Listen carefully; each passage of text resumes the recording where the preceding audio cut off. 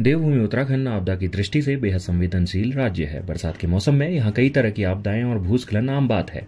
इससे पहले उत्तराखंड के जोशीमठ में भूदसाव के चलते लोगों के घरों में दरारें और भूस्खलन की दिल दहला देने वाली तस्वीरें सामने आई हैं, जिससे जोशीमठ के अस्तित्व में खतरा उत्पन्न हो चुका है, जो आज भी बरकरार है। स्थानीय प्रशासन लगातार भूधसाव रोकने के लिए काम कर रहा है।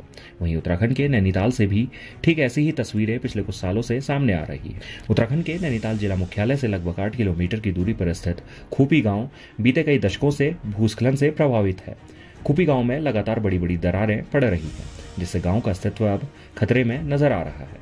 गाँव में सालों से हो रहे भूस्खलन से हालात इतने बदतर हो चले हैं कि घरों में बड़ी बड़ी दरारें बढ़ चुकी है जिसके चलते लोग प्रशासन से विस्थापन की मांग कर रहे हैं।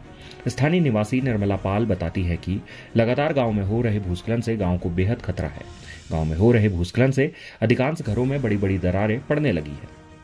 गाँव का नाम खुपी है और क्या कहते हैं सर दो, दो तीन सालों से तो बहुत ही खतरा हो रहा है लेकिन इधर को एक आध साल से मतलब घर में दरारें हो गई और बारिश बहुत ही हो जा रही है, इस वजह से रात को हम ना सो पा रहे हैं भारी दिक्कतों का सामना करना पड़ा हमें द्वारा बीच में एसडीएम साहब भी आए थे फिर, और क्या कहते कमिश्नर दीपक रावत जी भी आए थे, उन्होंने कहा था कि आप अगर विस्थापन चाहती है तो हम मतलब कर सकते बारिश के समय हम रात को सो नहीं पाते हैं।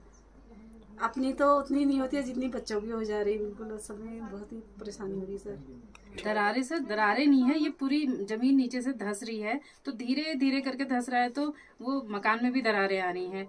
दरारे चलो वैसे दरारें होती ठीक था हमारे तो नीचे से पूरा गोट है और टॉयलेट है पूरा चला गया है नीचे को।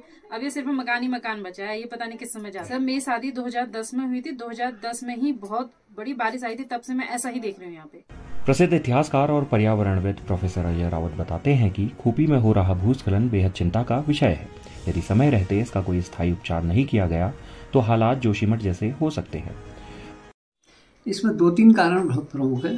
सबसे पहला कारण तो यह है कि M B T main boundary thrust जो है, वो क्षेत्र से पास होता है उस क्षेत्र से लगा हुआ है। तो मेन बाउंड्री थ्रस्ट जो है, वो लेसर हिमालय जो है, वो शिवालिक को कंप्रेस करता है तो उस कंप्रेशन की वजह से जो वो है पहाड़ जो है उठने लगा है उसकी वजह से ये हो रहा है। और इसके साथ ही साथ वहाँ पर ये देखने को भी आ रहा है जो दरारें हैं और जो फॉल्स हैं वो सब भी नज़र आ रहे हैं कि एक उठाव सा जैसा आ गया है ज़मीन के ऊपर दरार के साथ साथ। तो ये जो है ये बड़ा भयानक का, कारण है जिसकी वजह से ये दूसरा जोशीमठ बन सकता है। और इसके साथ ही साथ जो सबसे प्रमुख कारण मुझे लगता है वो है पाइंस का नाला, जहाँ हमारा शमशान घाट है। शमशान घाट से ऊपर को अगर नज़र मारो तो आपके लरिया कांटा की तरफ़ से जो लरिया कांटा रिज है, वहाँ से ये नाला निकलता है। तो गर्मियों में तो ये सूखा रहता है, बरसात के समय ये नाला भर जाता है। और फिर वहाँ से जब ये बह के आता है और फिर पाइन्स में, शमशान घाट से आगे बढ़ता है तो उसके बाद इसमें कई और नाले जो हैं, वो जुड़ जाते हैं और ये ठीक सूबी गाँव के बगल से निकलता है। नैनीताल के एसडीएम प्रमोद कुमार ने बताया कि उनके द्वारा सिंचाई विभाग के अधिकारियों के साथ पूरे गाँव का निरीक्षण किया गया। सिंचाई विभाग के द्वारा गाँव में हो रहे भूस्खलन के स्थायी उपचार के लिए एस्टिमेट तैयार किया जा रहा है। जल्द स्थायी उपचार किया जाएगा। तो सिंचाई विभाग के अधिकारियों के साथ में इसका निरीक्षण किया गया था और इसमें हमने पूरा गाँव का भी चेक किया है और दूर से भी हम लोगों ने पूरा निरीक्षण किया है। इसका भूगर्भ सर्वे पूर्व में हो चुका है। जैसे कि सभी लोगों को याद भी है कि पूर्व में दो से दो से इस गाँव में लैंडस्लाइड होने लग गया था। उससे गाँव के कुछ नीचे कुछ पोर्सन से को काफ़ी खतरा उत्पन्न हो रहा है। अभी हम लोग जब भ्रमण किया पूरे गाँव का तो कई मकान कुछ बैठ गए हैं, कुछ में दरारें नई भी हैं, कुछ पुरानी दरारें भी वहाँ दिखाई दे रही हैं। और जो मकान बिल्कुल खतरे की स्थिति में थे, कुछ मकान जो हमको लग रहा था वहाँ पर रहना खतरे से खाली नहीं है।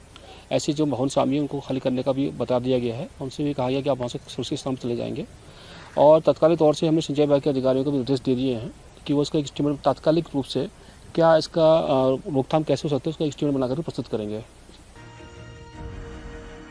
नैनीताल से तनुष पांडे की रिपोर्ट।